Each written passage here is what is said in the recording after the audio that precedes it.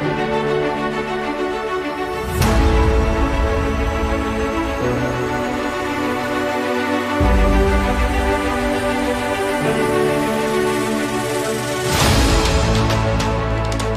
2020, les routes ivoiriennes sont de plus en plus en meilleure santé. 2020, les routes ivoiriennes bitumées sont de plus en plus rajeunies sur toute l'étendue du territoire national.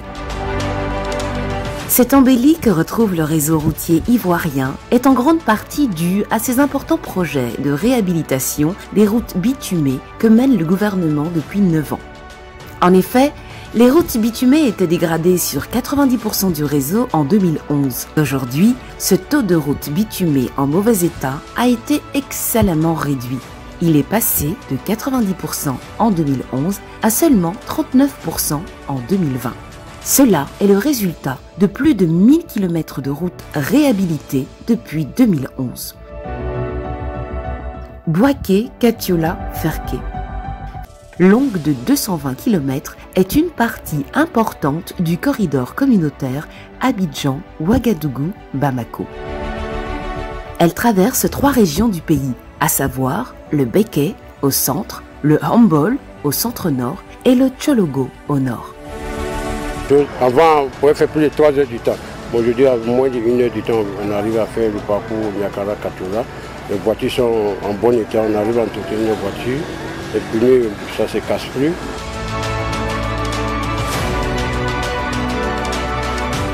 Yamsoukro, Boisflé, Dalois.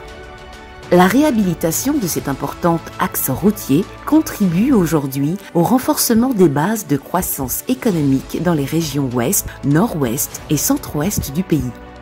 Elle favorise surtout l'amélioration substantielle de la sécurité routière sur cette route qui connaît un énorme trafic l'axe Ferké-Wangolo.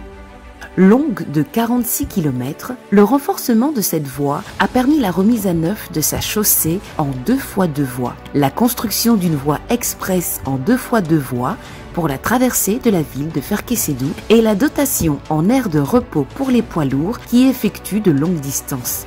Ça fait plus de 30 ans qu'on entend le bitume, certains même diront 40 ans que nous entendons le bitume à Cinémachali.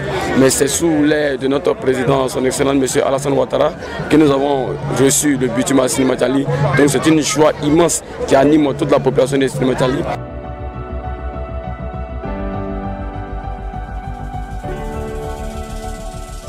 PK 109 d'Ivo Gagnois.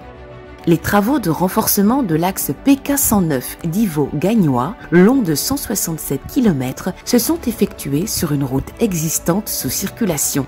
Ces travaux ont consisté au recyclage de la chaussée existante avec un traitement au ciment et une reconstitution partielle ou complète de certains ouvrages hydrauliques facilite désormais l'accès à trois importantes régions de la Côte d'Ivoire, à savoir la région de l'Agnébi-Tiassa, la région du Lot-Djibois et la région du Go.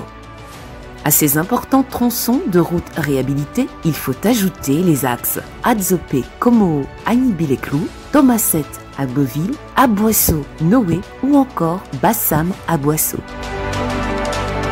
Tous ces projets font du réseau routier ivoirien l'un des meilleurs sur le continent africain. Ces projets, initiés par le gouvernement de la Côte d'Ivoire, sont exécutés par le ministère de l'Équipement et de l'Entretien routier à travers l'Agence de gestion des routes, AGEROUTE,